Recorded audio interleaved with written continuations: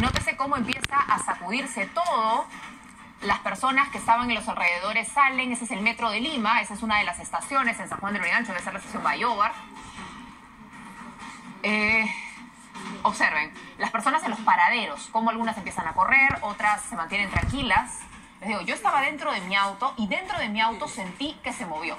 Así que imaginen, me imagino lo que deben haber sentido todos aquellos que estaban con los dos pies en el suelo o en un edificio en una altura mayor.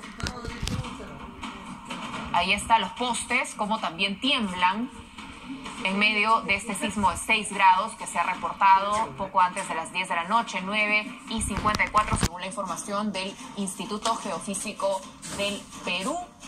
Ahí está algo que es común luego de un sismo. Automáticamente se genera como un cuello de botella y un poco de tráfico porque naturalmente todas las personas de pronto quieren irse a su casa, quieren llegar rápido. Algo que también pasó, se saturaron nuevamente las líneas telefónicas. De pronto la gente no podía llamar, no se olvida.